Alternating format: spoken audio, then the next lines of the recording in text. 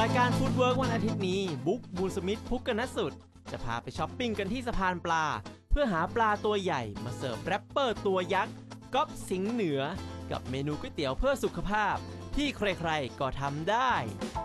โขลกพริกแกงส้มก่อนเลย อยู่บ้านนี่หม่อมแม่ไม่ให้ทำอะไรอย่างนี้เลยนะเนี่ยไปเรื่อยๆ อะตำให้ดีๆ อะจับกินไข่ดาวด้วยเหรอวันนี้